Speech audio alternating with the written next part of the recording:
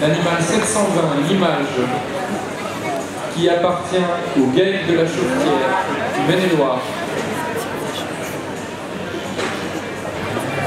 Ensuite, le 722, l'ORI, qui appartient à l'ERL GMV Anthony, qui nous vient également du Maine-et-Loire.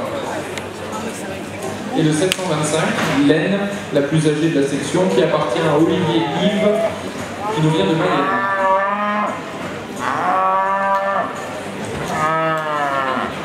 Donc une jolie section de toutes jeunes femelles, des femelles qui sont nées donc à la fin de l'année 2015.